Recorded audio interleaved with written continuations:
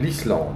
À trois petites heures de vol, je découvre en ce mois de juillet 2020 la région fascinante du Cercle d'Or. On atterrit à l'aéroport de Keflavik, à ne pas confondre avec la capitale du pays, Reykjavik, située à 50 km de l'aéroport. Ce qui me surprend par le hublot de l'avion, c'est la texture du sol. L'Islande est une île volcanique et l'absence totale d'arbres et de végétation.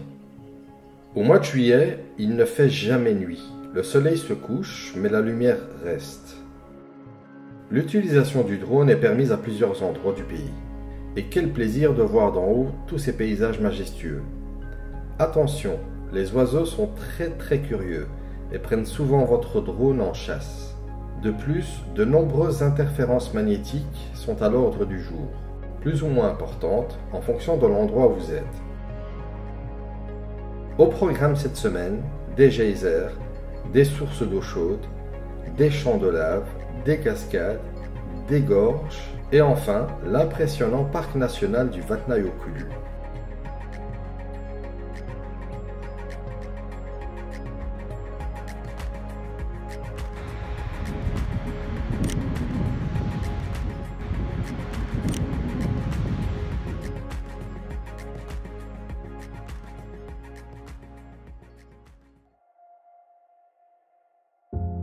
Mon séjour commence au Blue Lagoon,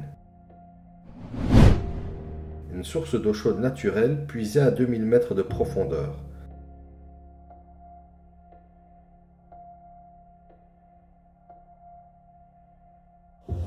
Vous vous baignez dans une eau chaude de 40 degrés, d'un bleu laiteux, dans un cadre unique. Avec la formule premium à 55 euros, vous avez droit à un verre et à trois masques du visage.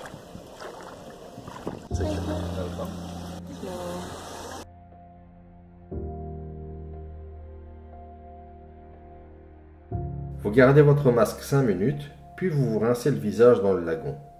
Le coucher de soleil se prépare, je vous laisse apprécier.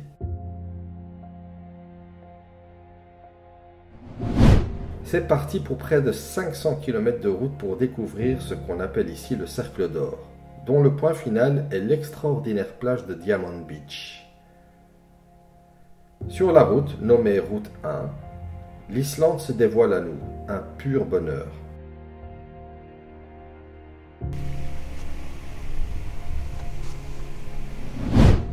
Seljalandsfoss, la première d'une longue et incroyable série de cascades.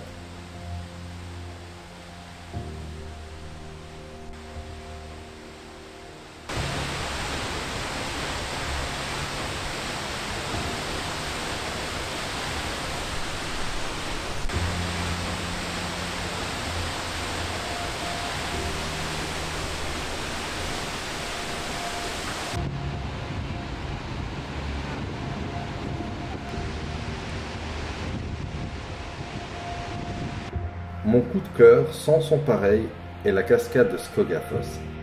Sa beauté et sa puissance m'ont littéralement mis KO.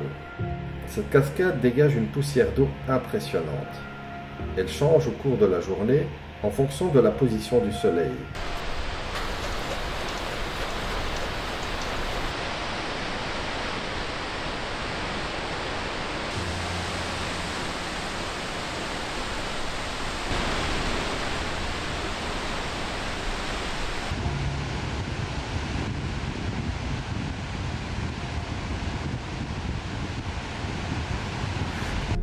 Un escalier aux nombreuses marches permet de vous rendre au sommet de la cascade.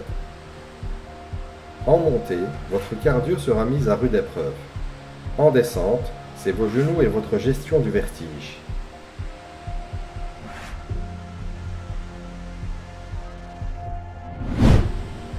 En haut de la cascade, à plus ou moins 200 mètres, la cascade Hestavaosfoss se dévoile à vous.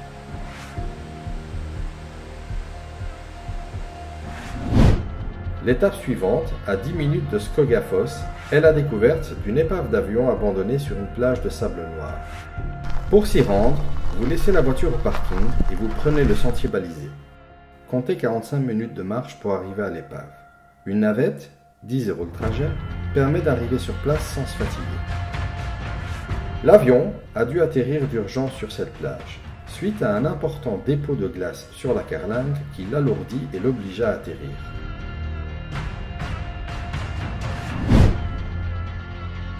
À 10 minutes de là, on découvre la plage de Dirolae, ses falaises impressionnantes et quelques rochers solitaires dans la mer.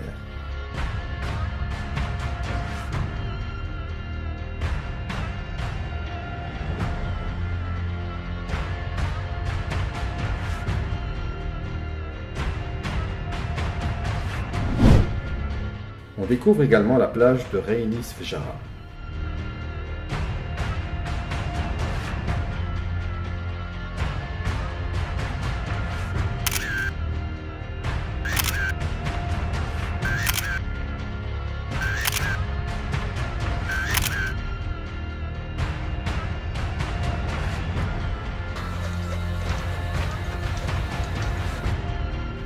Depuis notre départ de Grindavik, nous longeons la mer d'un côté et une falaise parsemée de cascades de l'autre.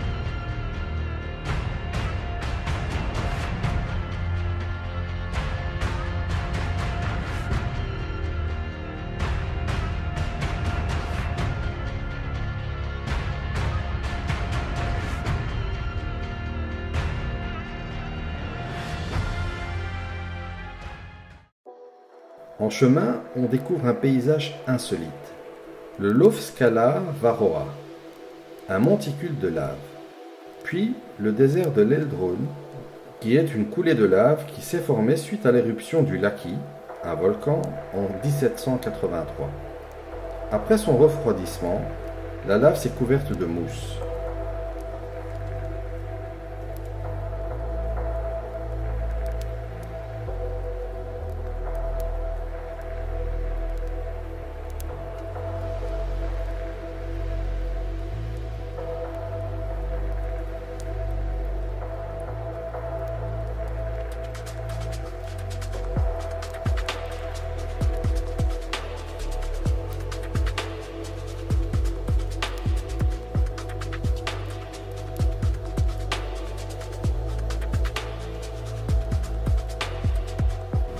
Les cascades sont toujours présentes dans ce cercle d'or.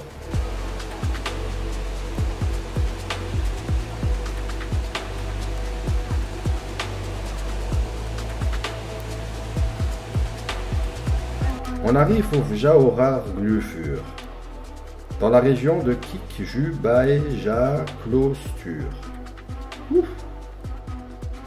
Cet extraordinaire canyon fait plus ou moins 2 km de long et atteint 100 mètres de profondeur par endroit. Il est traversé par la rivière Jaora. Un petit sentier sur la droite permet en une vingtaine de minutes de longer les gorges par le haut. Trois plateformes impressionnantes dévoilent des points de vue magiques sur le canyon. Un must, je vous laisse apprécier.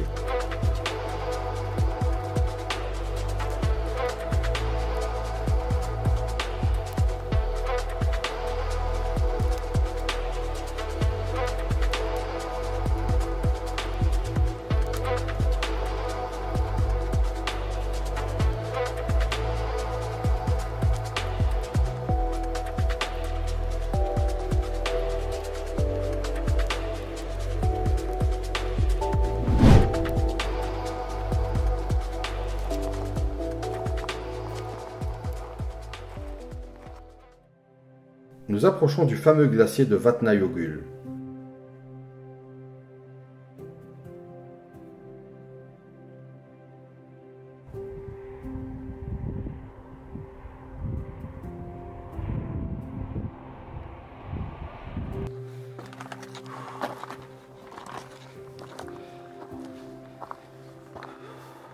Ce glacier est impressionnant.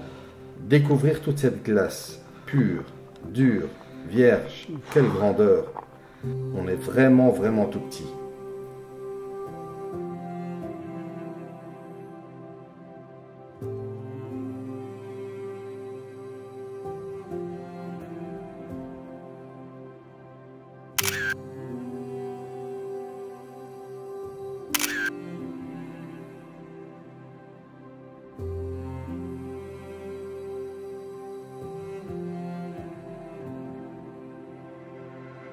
Glacier se déverse dans un lac où des blocs de glace se détachent et naviguent vers la mer. Pour venir s'échouer, nous le verrons tout de suite, dans la fameuse plage de Diamond Beach.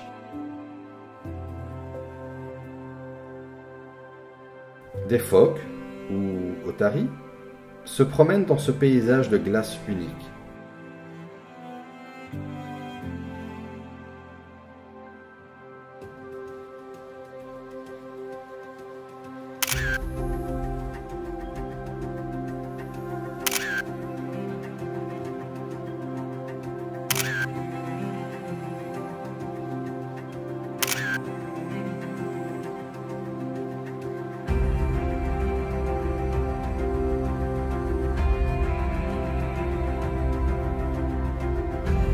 Certains blocs de glace sont d'un blanc pur, d'autres d'un bleu éclatant. Admirez.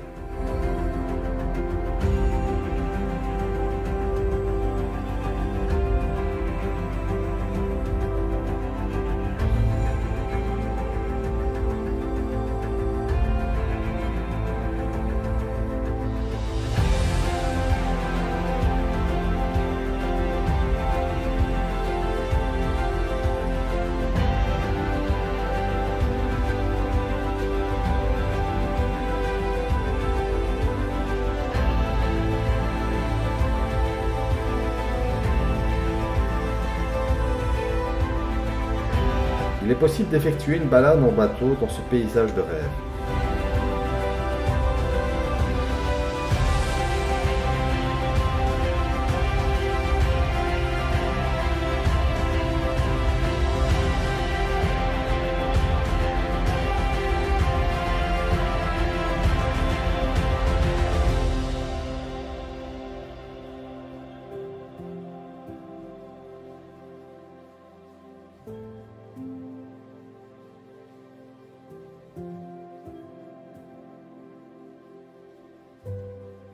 Les blocs de glace, détachés du glacier, se dirigent vers la mer. Ils sont ensuite renvoyés sur la plage de sable noir, c'est Diamond Beach, qui porte excellemment son nom.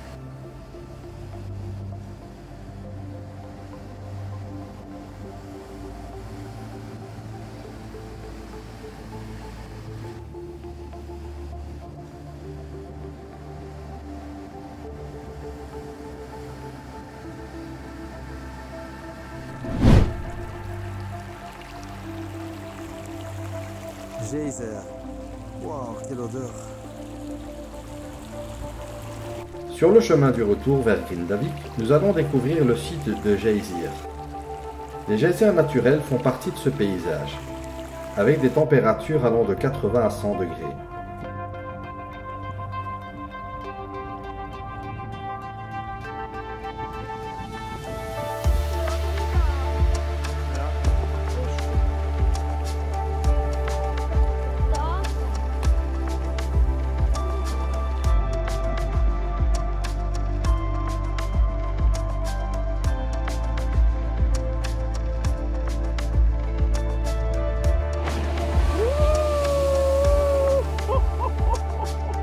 Et des jets d'eau impressionnants qui ont lieu toutes les 4 minutes. Un spectacle unique.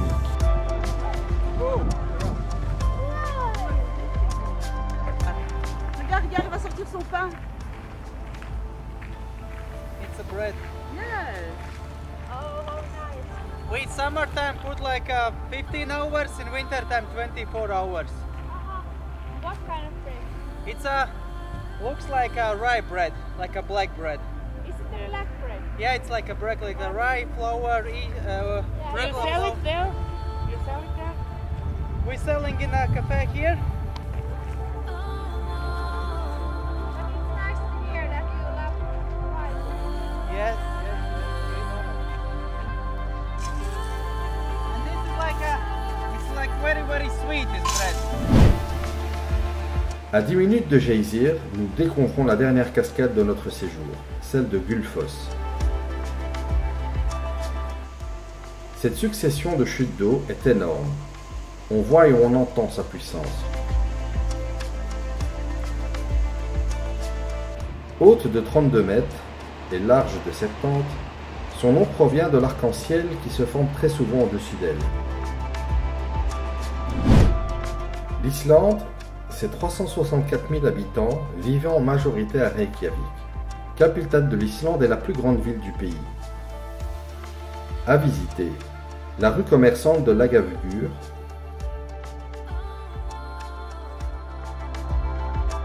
l'impressionnante église de Hallgrímskirkja,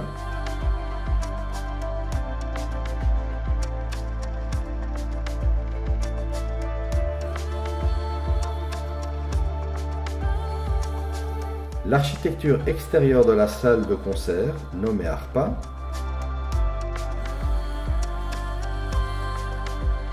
et enfin sur la côte, le monument Sun Voyageur. Comptez deux heures pour visiter l'ensemble, tout étant regroupé dans le même périmètre.